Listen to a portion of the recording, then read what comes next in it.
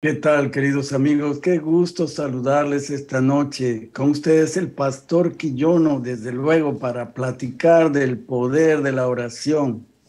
Pero ¿cómo invocaremos a aquel del cual no creemos que exista y que pueda oír y responder nuestras plegarias? Este programa está hecho precisamente para que al escuchar las anécdotas, los testimonios del poder maravilloso de Dios, usted y yo podamos fortalecer nuestra fe en el Dios de lo imposible.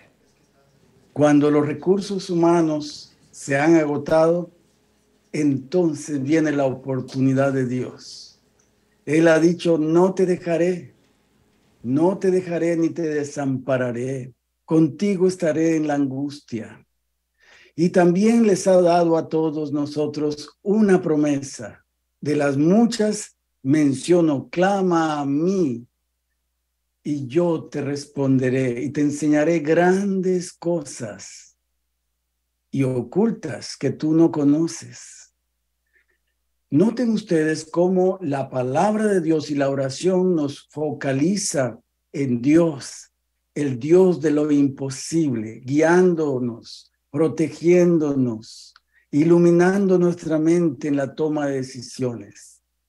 Esta noche tenemos a un médico de Cuba que viene al estudio para dar su testimonio en búsqueda de significado y propósito en la vida, clamó a Dios y Dios siempre le ha respondido. Quédate con nosotros para escuchar la gloria de Dios brillar en su testimonio. Bienvenidos a un momento de paz.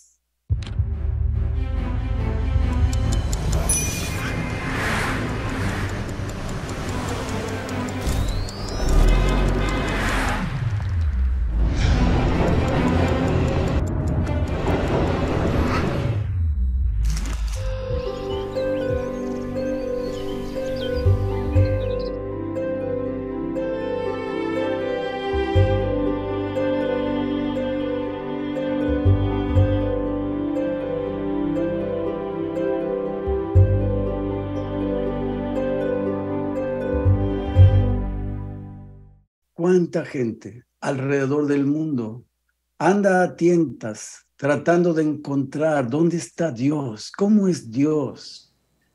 Y Dios anda revelándose a aquellos que le invocan, que de veras le invocan de corazón limpio y puro, sincero.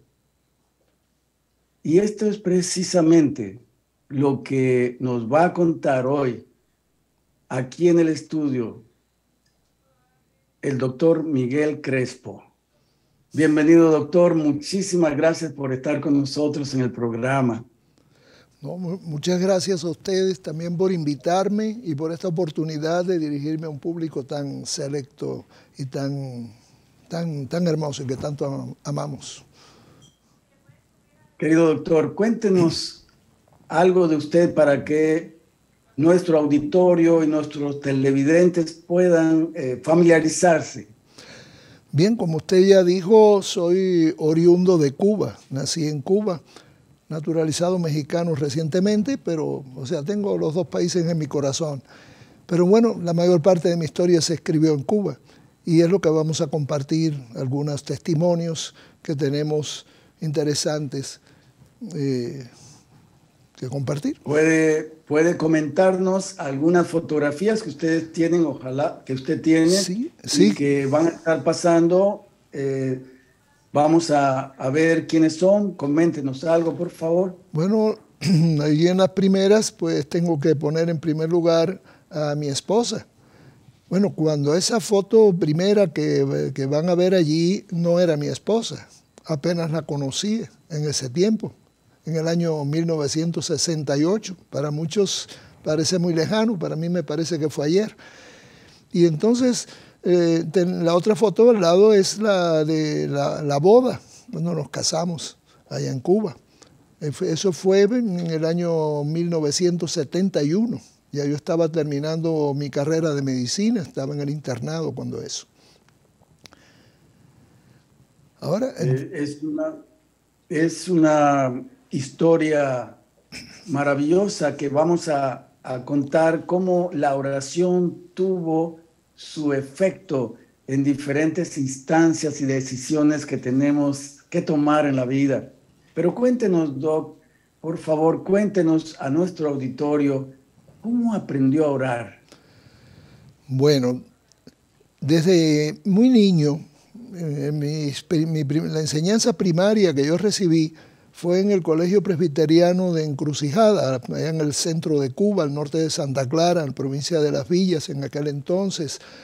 Y allí fue donde aprendí los primeros rudimentos de, cómo orar, de la palabra de Dios, y nos enseñaron himnos, canticos, íbamos a la iglesia, y bueno, así fue la primera experiencia como, como niños.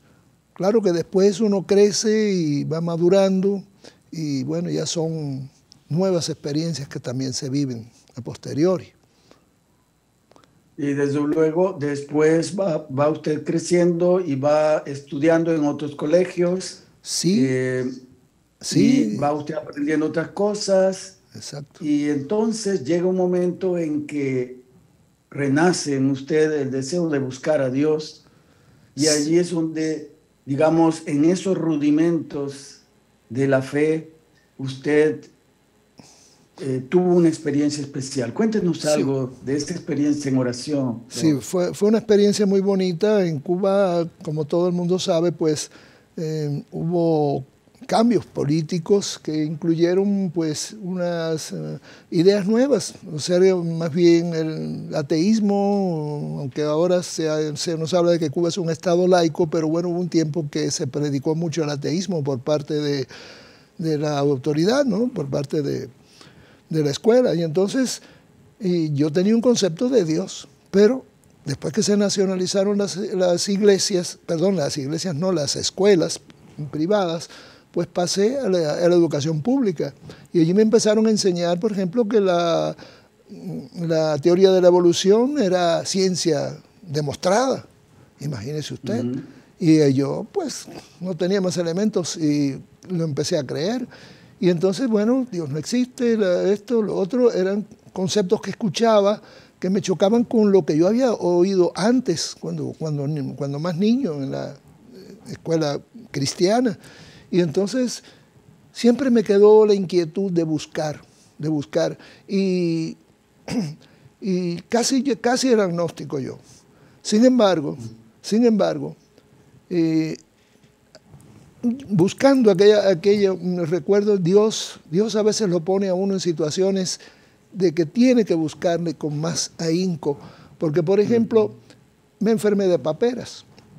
Y cuando me enfermo de parotiditis, pues tenía que hacer reposo absoluto. Y, estar... y entonces me acordé de un libro que había en mi casa. El libro, mm, que, un libro que unos colportores habían vendido y que mi papá había comprado.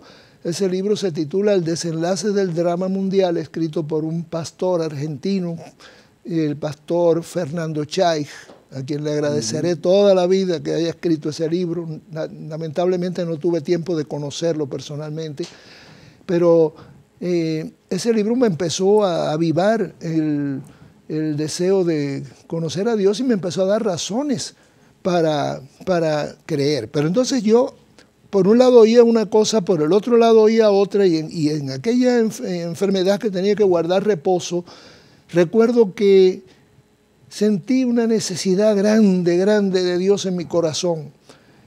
Y ante esa necesidad, todavía no del todo convencido, pero metí la cabeza así contra la almohada y clamé a Dios con toda el alma y el corazón. Y Dios siempre oye esas oraciones que son un clamor. Y dije, Señor, si, es, si tú existes, yo quiero que tú me lo, me, lo, muestres de alguna manera. Y que yo, y que, y que, que esa verdad yo pueda vivirla de tal, de tal manera que pueda ser fiel a ella, aunque tenga que pagar el precio que tenga que pagar. me salió del corazón y Dios creo que me lo ha contestado ampliamente. Ampliamente. Nadie que clame a Dios va a ser avergonzado. Dios siempre cumplirá su palabra. Amén. Qué maravilloso. Y cuéntenos, ¿cómo es que usted tuvo que pagar el precio? Clamó a Dios, Dios le respondió y fue enseñando paso a paso la verdad. Cuéntenos algo de esa de ese desarrollo de una manera breve, pero que pueda eh, los que estamos escuchando y viendo el programa puedan darse una idea del proceso que usted siguió en esta búsqueda Bien, fue de la verdad. Fue una búsqueda, mm, una búsqueda donde yo traté de de escuchar distintas opiniones, distintas posiciones, pero siempre buscaba en la Biblia que fuera la Biblia la que dijera la última palabra. Y para ello mm. tenía que estar orando y buscando. Eh, comencé a visitar eh, nuevamente iglesias, porque yo me había alejado de, todas las iglesias, y entonces volví ya de muchachón joven, unos 16, 17 años, 17 años cuando empecé a leer ese libro, y y al buscar, pues me encontré que ese libro me decía cosas que en, la, que en otras iglesias lo decían de otra manera, acerca del día de reposo, acerca de la condición de las personas que han fallecido, de la, de la esperanza de la resurrección, algunos lo ven de una manera, otros de otra, y entonces yo decía, bueno, ¿y quién tiene la razón? Entonces, pues me dediqué a la búsqueda. Yo, bueno, a mí me llegaron a decir que los adventistas estaban equivocados. Y entonces yo llegué más o menos a creerlo de acuerdo con ciertas cosas, pero mm, había cosas que el libro aquel decía que yo no veía que nadie las refutara. Y eso pues me daba cierta comezón por dentro, no estaba conforme. Y entonces, pues eh, eh, yo me dije, el día que yo conozca dónde hay una iglesia adventista, voy a visitarla. Porque en mi pueblo no había ningún adventista en Encrucijada, Villa Clara, Cuba. En mi familia tampoco había ningún adventista. Y ningún adventista me invitó a ir a la iglesia, solo aquel libro. Y entonces, mm, en febrero del, del año 1966, Pasé por frente a la iglesia adventista de Marianao en La Habana, Cuba. Yo cuando aquello estaba en primer año de medicina, había empezado la carrera.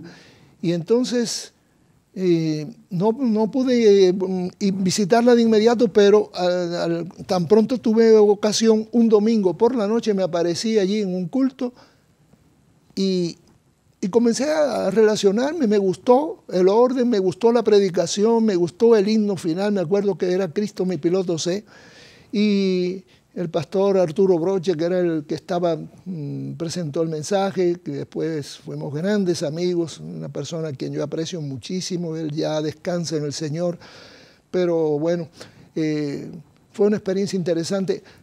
Empecé a visitar la iglesia adventista también, porque yo visitaba la adventista, visitaba la, pentecostal, visitaba la presbiteriana, visitaba la bautista, visitaba la metodista, yo visitaba a todo el mundo.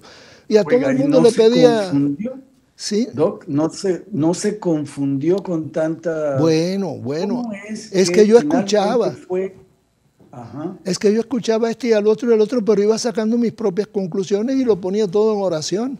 Fue, para mí fue decisivo el curso La Voz de la Esperanza, también la, obra que, y el acercamiento con una obrera bíblica quien aprecio mucho, que vive en Estados Unidos, Olga Alonso. Después supe que, era, que ella es hermana del pastor Heradio Alonso, que fue, ha sido pastor en la conferencia general por muchos años, ya le está jubilado, y que aprecio todas esas personas muchísimo, sus familias. Y bueno, esto poco a poco. Ella tuvo que batallar conmigo porque yo no era fácil de, pelar, pero, pero poco a poco fui viendo y comparando y llegué a la conclusión que llegué. La iglesia adventista, Dios le ha dado la mayor luz y verdad para este tiempo. Y hasta el día de hoy, hasta el día de hoy lo mantengo. Amén.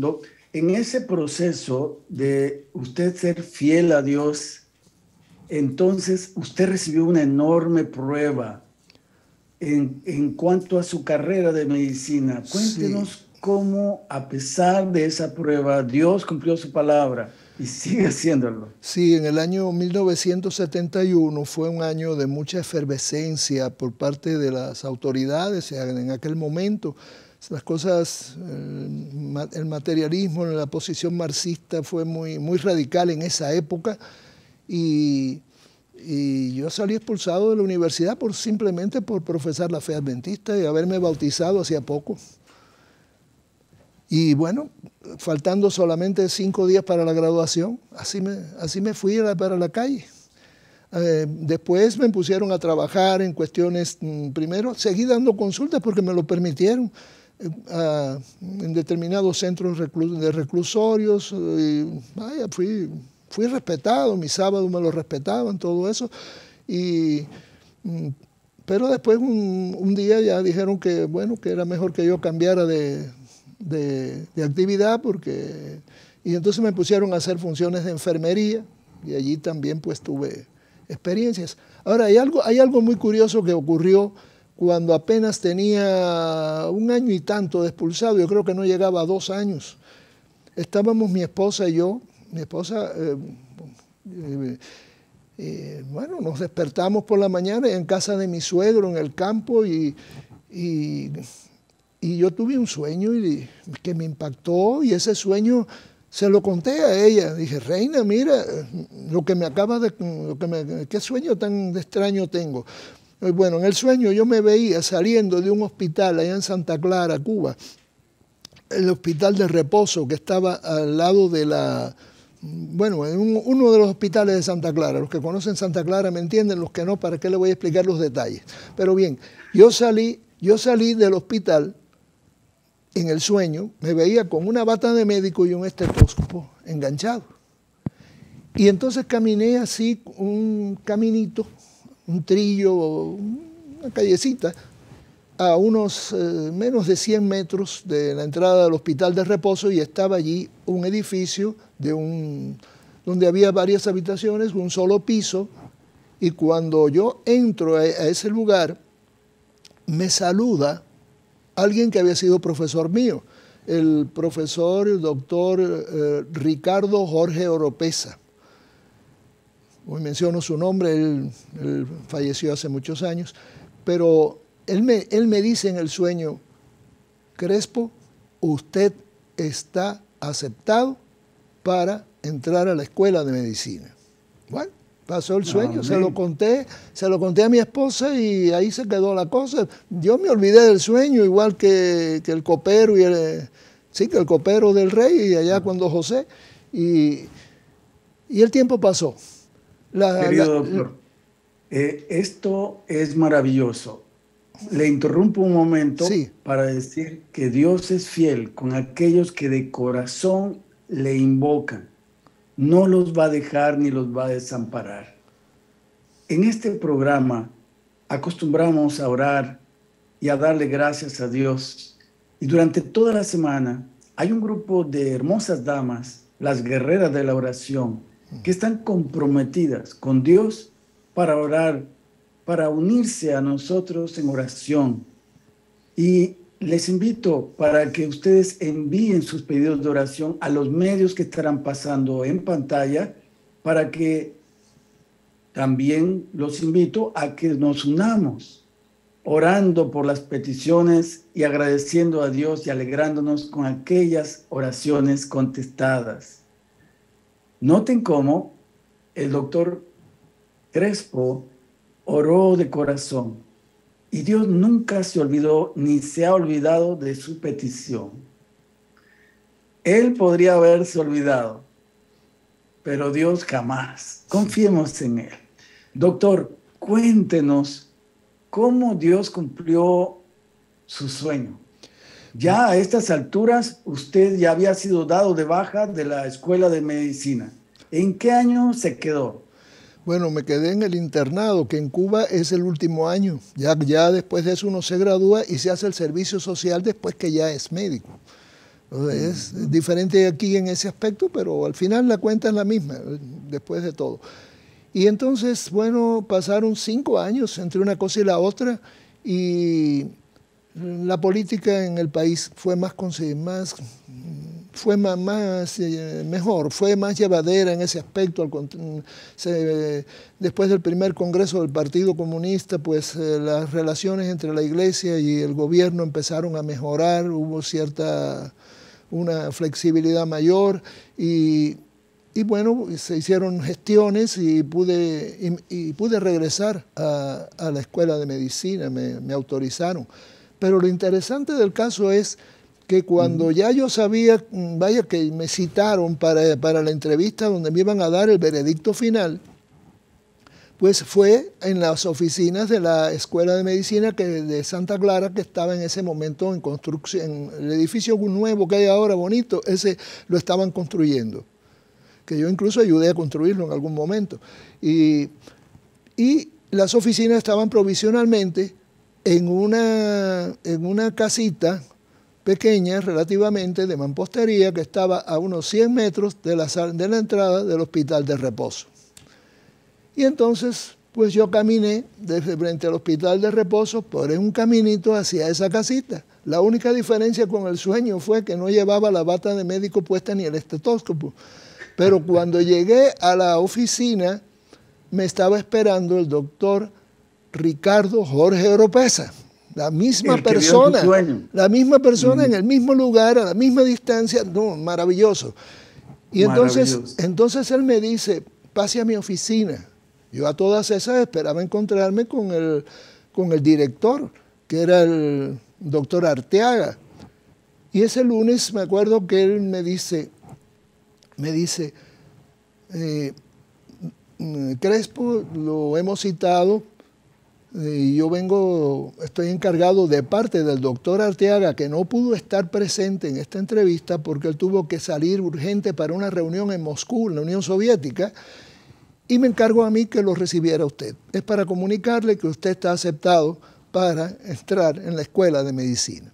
Después ocurrieron más cosas, pero no da tiempo a contarlas todas, pero pero, pero muy interesante, el sueño se cumplió proféticamente. y no, no, aspiro a que me den el título de profeta, pero Dios habla por sueños y, y habló en este caso.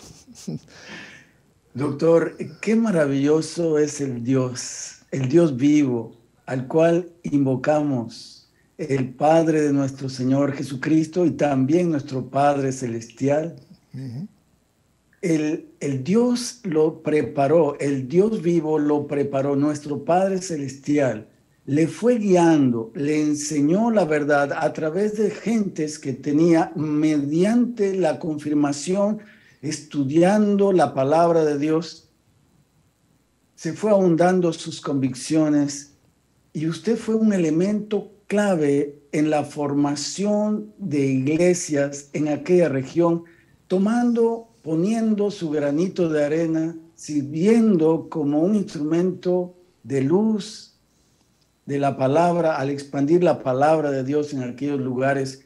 ¿Cómo llegó Dios a usarlo poderosamente para su gloria y honor, formando iglesias? Bueno, pues después que mm, me pude graduar fue en el año 1977 ya. Eh, me enviaron por un tiempo, estuve casi dos años en el hospital de Zaguala Grande, el segundo hospital de la provincia, y en medicina interna, que fue el servicio que trabajé siempre. Y, pero por el asunto del sábado, el director de aquel entonces pues no estuvo muy de acuerdo y pidió que me trasladaran. Yo pedí que si no se me podían resolver, pues que me trasladaran para cualquier lugar.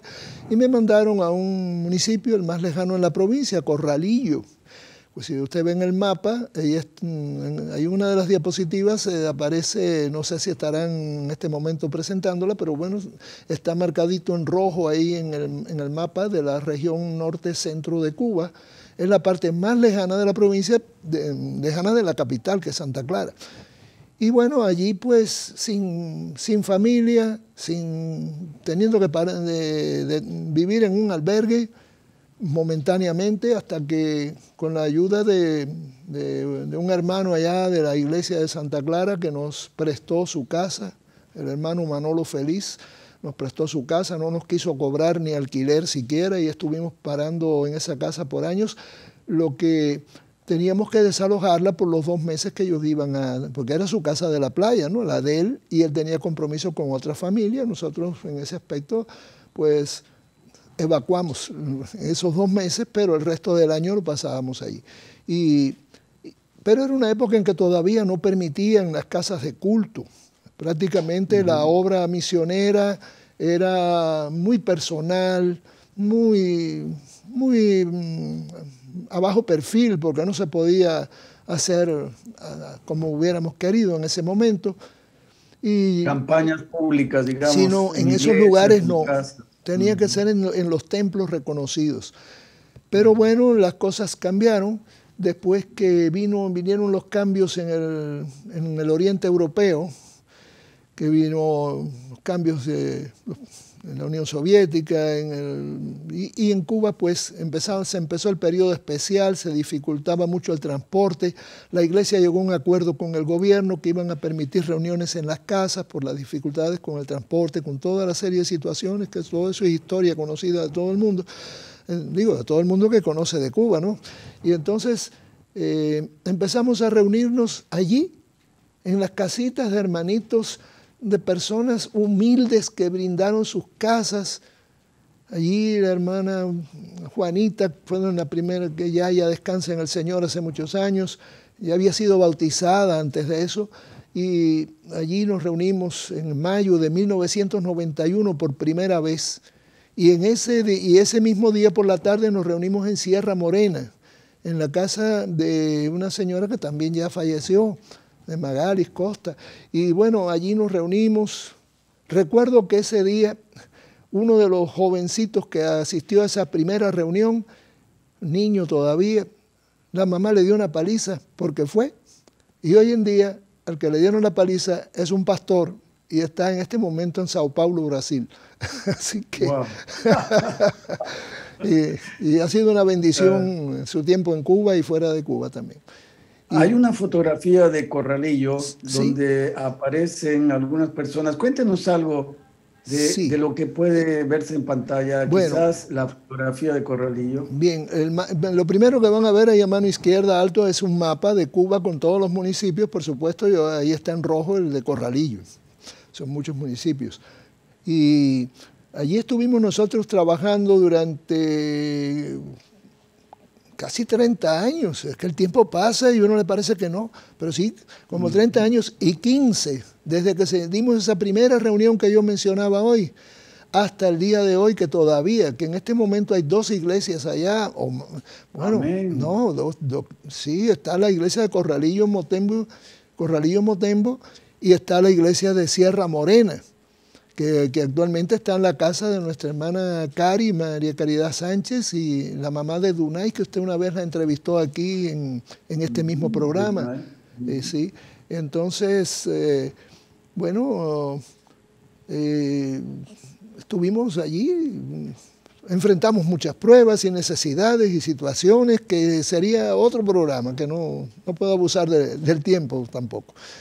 Lo importante es que Dios lo usó como un instrumento de su amor para expandir el Evangelio en aquellas zonas, dado que la obra médico-misionera es realmente eh, valiosa, el brazo derecho del Evangelio. Y realmente Dios nos usa con los talentos y con las capacidades que tenemos y también el temperamento, la personalidad, todo es usado para su gloria y honor para tocar los corazones. Y su testimonio, doctor, también está llegando a mucha gente, porque aunque ya tiene tiempo que pasó todo eso, el Dios, el sigue siendo el mismo Dios que puede tocar los corazones, transformarlos y fortalecerlos, guiarlos en su toma de decisiones. Esas iglesias. Digo, perdónenme que lo interrumpiera. estas, esas iglesitas ya están dando hijas, porque ya la obra se está predicando en Rancho Veloz, en un lugar llamado San Pedro, que ya hay un grupo importante. Eh, y, realmente son uno va allí y se siente tan tan tan feliz porque ver hermanitos que han crecido, siempre tratando de formar líderes, tratando de predicar el Evangelio y así. Maravilloso, maravilloso. Doctora, a usted le tocó, por último, le tocó una experiencia de, la naturaleza donde usted eh, pudo ver la mano de Dios. Cuéntenos, creo que hay una fotografía por allí, rápidamente. ¿Qué pasó allí? Sí, en las anteriores mm, no comenté que una de las fotos es en, la casita de Sierra Morena, eran casas de culto, que, como iglesia, y, la, otra fue una reunión de conquistadores que, donde se ve el camión, etcétera, eh, de, la, de, la, asociación, de la parte occidental de la asociación central. Y en esta de lo que pasó fue la catástrofe del ciclón Kate en el año mm. noviembre de 1985, mi esposa y yo habíamos salido de vacaciones, ella se quedó con el niño, con Jesse, eh, mi hijo, que bueno, ahí salió en una de las fotos, él con su familia, ya casado ahora, su esposa Maideni, sus niños, eh, que uno de los niños es guyanés, el otro, la niña es dominicana, porque hemos tenido un peregrinar juntos por distintos lugares. Y bueno, esto pero bien, eh, lo de la catástrofe fue en ese año 1985, y me acuerdo, Jesse tenía tres años nada más, y, él, y, mi esposa, Reina, se quedaron en Santa Clara, en la casa del pastor Saldívar, que, es doctor honoris causa de esta universidad, y él y su esposa fueron con nosotros como, como padres, como hermanos mayores, yo no sé ni cómo decirles, gente muy, muy querida. Y entonces...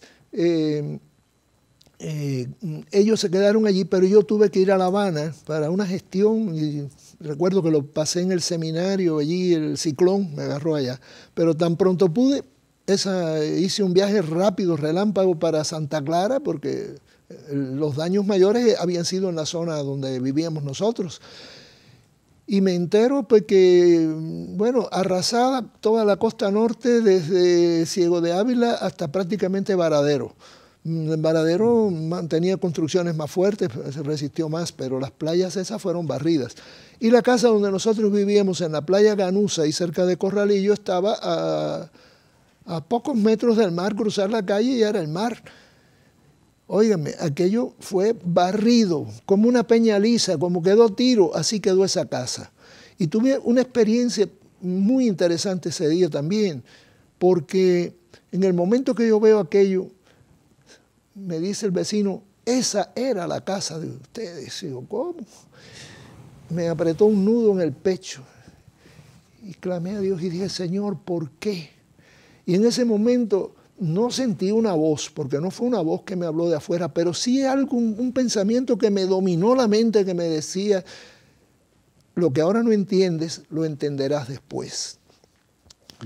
Bueno, yo entonces me acordé, dije, bueno, Ahora aplícate tú tu propia medicina, porque tú hace dos o tres meses tuviste una predicación en la Convención de Jóvenes en Cienfuegos, donde tú utilizaste dos textos que son claves. Romanos 8:28, que dice que a los que a Dios aman todas las cosas les ayudan a bien. Y primero a los Corintios capítulo 10, versículo 13, que dice que Dios no nos dejará ser probados con más de lo que podamos llevar sino que dará mm. juntamente con la tentación la salida. Yo de momento no mm. entendí nada. En eso un vecino me dice, óyeme, allá en el monte, porque la playa aquella quedó barrida. Detrás de las, de las casas mm, originales había una laguna como de 300 metros o más de largo y detrás unos manglares bastante densos que casi avanzaban hasta más, como más de medio kilómetro y me dice, oye, me hay unos libros tuyos que están por allá. Resulta ser que yo digo, bueno, pensé los libros de medicina, el Harrison, pensé en primer lugar porque es un libro fuerte, gordo, bien nutrido. Oiga, de eso no quedó nada. Al día siguiente, porque la policía nos sacó ya, era a las seis de la tarde casi, al otro día pudimos llegar, o pude yo llegar, y me pongo a buscar y me encuentro así a lo, lejos en, el manglar una mesita de noche, la mesa que teníamos al lado de la cama, hacia el lado donde yo guardaba una serie de libros del espíritu de profecía. Esos libros de Elena G. de White que estaban allí eran los que eran imposibles prácticamente de conseguir en Cuba porque allí no hay una tienda donde los venden, no hay una editora que, bueno, ahora sí hay una editora en La Habana, pero, pero más pequeña, ¿no? Época, no. Y en aquella época mm. nada de eso, ni soñarlo. Y, y aquellos libros, junto con 300 casas, que fueron arrolladas por el ciclón desde el mar, porque fue un ras de mar que se llevó todo, aparecieron todos esos libros íntegros, íntegros. Bueno, menos en cuanto a mensaje para los jóvenes le faltaron las últimas 100 páginas, pero Joyas de los Testimonios tomo 2, Joyas de los Testimonios tomo 3 y otros más mensajes selectos, unos cuantos que teníamos íntegros, solo manchados de arena. Y hay una foto que yo tengo allí al final, donde para testimonio yo no quise quitarle la arena, yo quise que para poder dar testimonio de que viera que era verdad, porque esto parece increíble, pero es cierto, esa, esa mesita de noche con esos libros fue guardado por un ángel a través de la inundación y, penetró todo aquello con toda la barbaridad de palos y de casa y desastre y, y lo pudimos rescatar y pudimos seguirlo usando para predicar el Evangelio. Ahora, lo interesante es cuando voy a abrir los libros ya en casa de una señora que después se bautizó también y este testimonio le ayudó mucho, la hermana Caridad González, muy querida, descansa también en el Señor ya. Y tengo aquí en el teléfono la cita que me encontré. Cuando abro el libro Joyas, tomo tres. Ay. Las leyes de la naturaleza. Bueno, las leyes de la naturaleza, lo que ahora me está hablando este aquí, y, y yo lo que quiero es leer. Bueno, el título en la versión más antigua de este, de este dice Dios en la naturaleza y aquí ahora más moderna, las leyes de la naturaleza. Voy a leer nada más que rápidamente el pedacito que me impactó de verdad. Dice, por favor. Sí, al espaciarse en las leyes de la materia y de la naturaleza, muchos pierden de vista la intervención continua y directa de Dios si es que no la niegan expresan la idea de que la naturaleza actúa independientemente de Dios, teniendo en sí y de por sí sus propios límites y sus propios poderes con que obrar.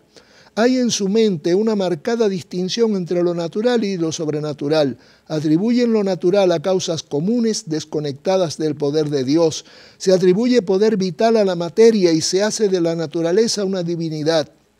Se supone que la materia está colocada en ciertas relaciones, bueno, sigue diciendo, pero dice al final la hermana Juan, y ahí terminé yo de leer ese día, esta es una ciencia falsa en la palabra en la palabra de Dios no hay nada que pueda sostenerla. Dios no anula sus leyes, sino que obra continuamente por su intermedio y la usa como sus instrumentos. Ellas no obran por sí, Dios está obrando perpetuamente en la naturaleza. Ella es su sierva y Él la dirige como a Él le place.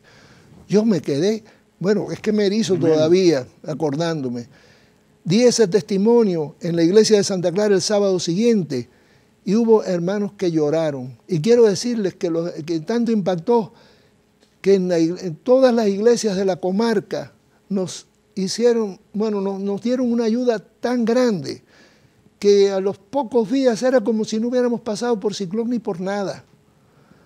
Porque nos vistieron, nos calzaron, nos dieron de todo. Y lo que faltaron fueron equipos eléctricos que el gobierno los vendió a, a la mitad de precio y, y, pudimos, pudimos darle gloria a Dios por lo que pasó, por esa experiencia. Yo veo la mano de Dios guiándolo, manifestando su voluntad y su gracia con usted, dando una revelación clara de su presencia, de su protección, de su dirección. Esto es maravilloso y yo creo que el Dios del cielo el creador de todo el universo, exactamente se manifiesta sobre la creación como también sobre lo sobrenatural, de tal manera que Él es capaz de hacer lo que para el ser humano es imposible. Dios está al control todavía de este mundo y podemos tener plena confianza. Queridos, como bien lo dijo el apóstol, de nada estén angustiados mas sean conocidas vuestras peticiones delante de Dios con toda oración y ruego, con acciones de gracias. Y la paz de Dios, que sobrepasa todo entendimiento, guardará nuestros corazones y nuestros pensamientos en Cristo Jesús. Vamos a escuchar y mientras escuchamos esta melodía, entreguemos todo en oración a Él, que Él tiene cuidado de nosotros, no nos dejará ni nos desamparará.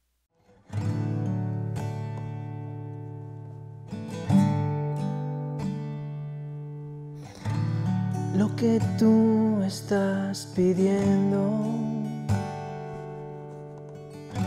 solo Cristo puede ver.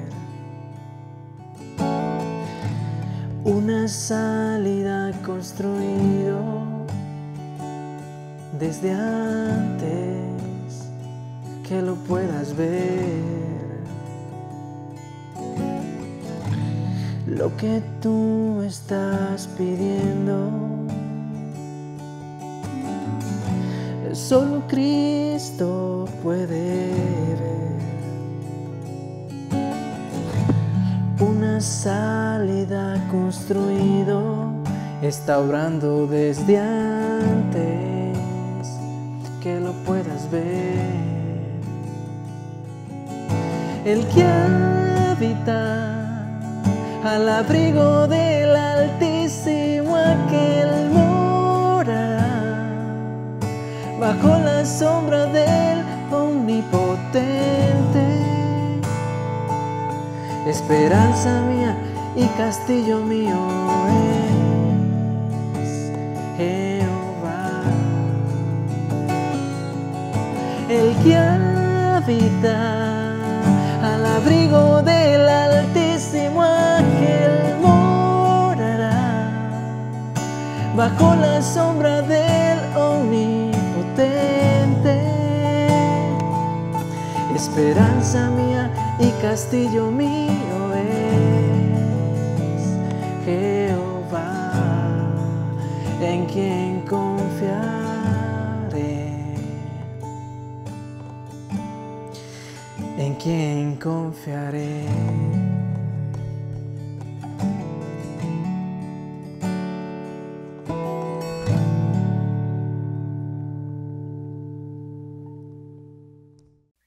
Eh, quiero agradecer a todos los que están orando por el pastor Otoniel Reyes.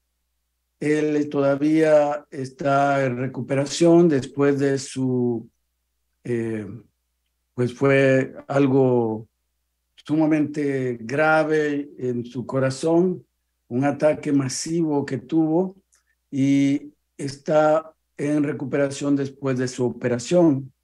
También invitamos a seguir orando por eh, aquellas personas afectadas, ya cerca de 50 mil personas que murieron y gente que perdieron sus hogares y que están desarraigadas y andan, digámoslo así, dependiendo de la compasión y caridad de todos los países que están enviando sus eh, pues sus provisiones para que esta gente pueda comer y sobrevivir.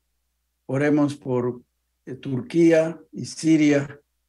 Y estas son manifestaciones de la naturaleza, como la escritura dice, que la naturaleza gime por su redención. Y yo creo que todos nosotros clamamos a Dios por su pronta venida. También nos ha escrito Minerva Jiménez Sierra, dice así, Pido oración por mis hijos y nietos, por los pastores y colportores, los enfermos y los que están pasando pruebas difíciles. Claro que sí, Minerva, este debería ser nuestro clamor diario para que Dios actúe poderosamente. Timo Trejo, buenas noches, saludos desde Querétaro. Pido por favor oración por Aurora y Rosy su mami Dios la llamó al descanso. Pido para que encuentren consuelo y sientan el abrazo de Dios en estos momentos. Estaremos orando por Aurora y Rosy Timo. Areli Soria Bautista, agradezco sus oraciones por mi papá. Él es diabético y tiene una herida en la pantorrilla que no sana. Dios restaure y sane su piel. Amén. Conecta Mayor dice, desde mi Chile querido, os saludo con mucho cariño. Un saludo para ti también, que Dios te abrace y te cuida y desde aquí para allá con mucho cariño. Ruego, dice ella, que oren por mi hijo Alejandro, quien está pasando por malos momentos. Dios lo proteja de todo mal. Como madre creyente, piadosa, conecta las peticiones de una madre llegan hasta el trono de la gracia de Dios y nos unimos a ti. Y hay muchas madres guerreras de la oración que estarán orando también por tu hijo. Gloria, buenas noches. Doy infinitas gracias a Dios por su amor infinito y su misericordia por este espacio de oración. Amén. Pido oración por el hogar de Liliana y Arsenio, por la salud emocional y física de ellos y de sus hijos Coloco en las manos del Todopoderoso la relación con mi hijita adolescente y con su padre. Dios dirija nuestra vida. Sin duda alguna, gloria. Dios está al control. Nos conviene creer y obedecer y a Él obrar lo que nosotros no somos capaces de hacer por nuestras limitaciones. Él lo va. Dunamis, doctor, está Dunamis aquí. Conocemos al doctor Miguel Crespo, dice, y a su esposa. Ellos trajeron el mensaje adventista a nuestro pueblo y se convirtieron en nuestra familia desde entonces. Gloria a Dios. Dios lo ha usado, doctor, y lo seguirá usando. Misma Dunamis dice, pido oración por mi prima Carisbel y su familia, por mi mamá y por mí por las niñas Sherla y Keila, por el niño Noé y las niñas Rubí y Luna. Estaremos orando por tu petición, Dunamis, también. Jimena Vargas Casallas, pido oración por Sandra Jimena Vargas y Eddie Guasguita, mi familia, para protección y que el ocultismo no tenga poder en nuestras vidas. Definitivamente, el poder es de Dios y Él es capaz de protegernos contra el mal. Confía en las promesas de Dios y Él hará. Karina Martínez, pido oración por mi hermana Marta y su esposo Carlos, para que Dios les dé fortaleza para soportar el problema de salud que están pasando. Muchas bendiciones. Tomaremos en cuenta tu oración, Karina, y Dios sabrá guiar a sus hijos porque nunca serán avergonzados y todas las cosas ayudan a bien a los que aman a Dios. Lanchis García, pido por favor sus oraciones para una petición personal para que Dios se manifieste en ellas si, si así es su voluntad. Amén. Rosa Estrada, pido oración por espiritualidad de mi familia y por mi salud. Tengo mucho desgaste en fémur, cadera y sufro mucho dolor. Mi Dios me ayude a tomar la mejor decisión. Amén. Rosa, no te vamos a dejar y estaremos orando por ti. Nos uniremos para que otros también puedan orar por ti. Nos uniremos todos para que Dios manifieste su gracia. Magda Aguirre, su oración intercesora por un alma sufriendo por cáncer, por una familia con serios problemas. Dios bendiga este programa. Amén. Este programa es de Dios y de nadie más. Y Él lo conduce y Él hace maravillas de acuerdo a su infinita misericordia y gracia. Cecia Alfaro de Aguillón, ¿cómo estás, Cecia? Petición especial por Mariel. Vamos a estar orando por Mariel Aurora Sofía Morales Ceja, gracias a Dios por sus maravillas, bendiciones. Por favor, oración por mi hija Sofía Montserrat y Marco Antonio, por todos mis hermanos y por la salud de mi hermana Consuelo Morales Ceja. Estaremos orando, Aurora, por esta petición.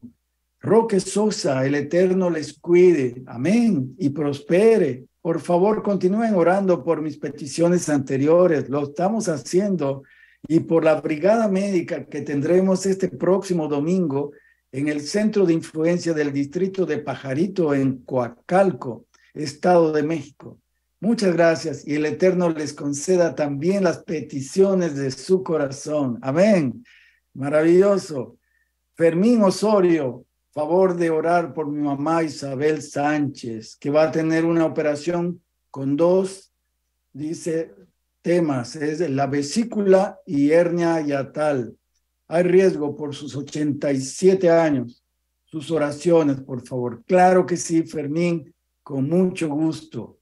Estaremos orando por, por estas peticiones. Sin duda alguna, Dios se compadece de nosotros y Él hará su voluntad maravillosa en nosotros. Recuerden que la voluntad de Dios es agradable y perfecta, más allá de lo que podemos pensar o imaginar.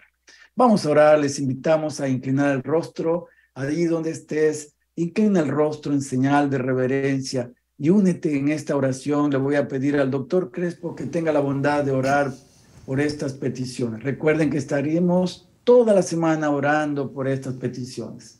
Oremos.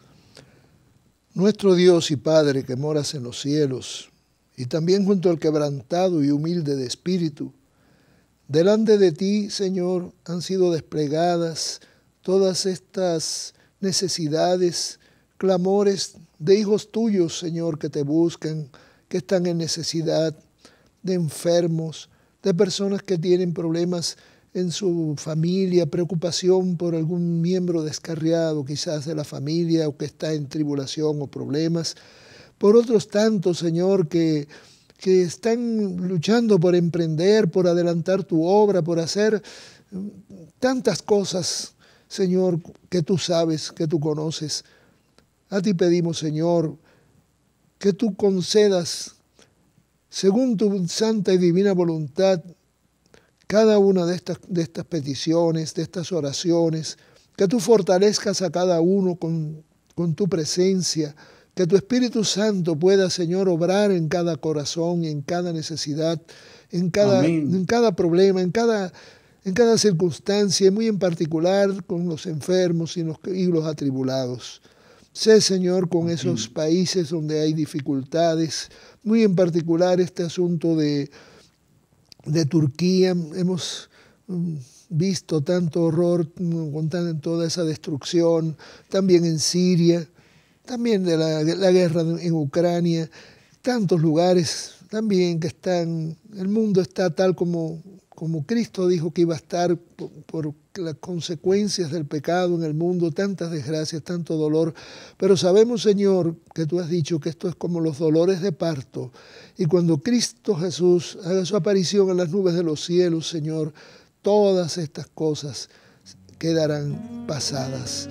Y, y, podremos, Señor, tenemos la esperanza de recibirte pronto en gloria para reunirnos con los que descansan en, en ti, que murieron en la bendita esperanza y los que estemos vivos si nos toca vivir o muertos si nos toca resucitar, podamos ir a morar contigo para siempre y eternamente. Bendice a cada uno de los oyentes según su necesidad y quédate con nosotros. Perdona nuestros pecados y danos tu espíritu en el nombre de Jesús. Amén.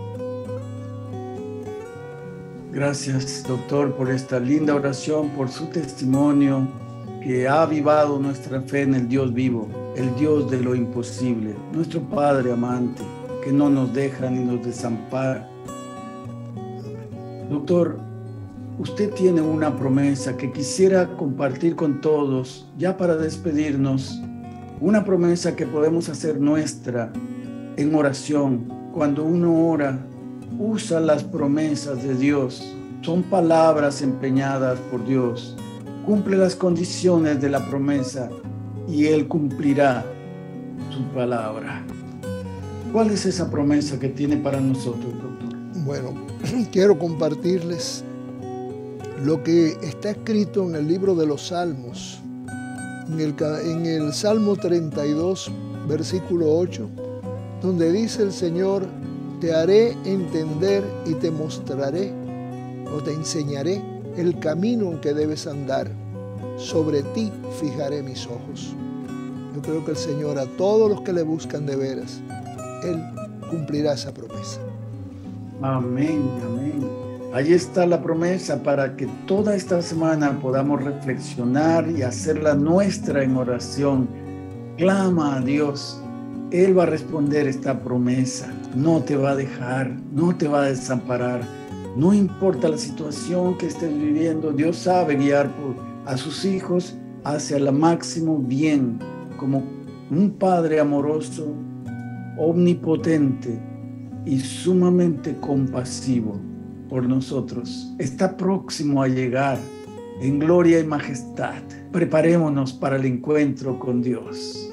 Yo me despido de ti con la bendición que solo Dios sabe darte. Que la gracia del Señor Jesucristo, el amor del Padre y la comunión con el Espíritu Santo sean con todos ustedes. Amén. Amén.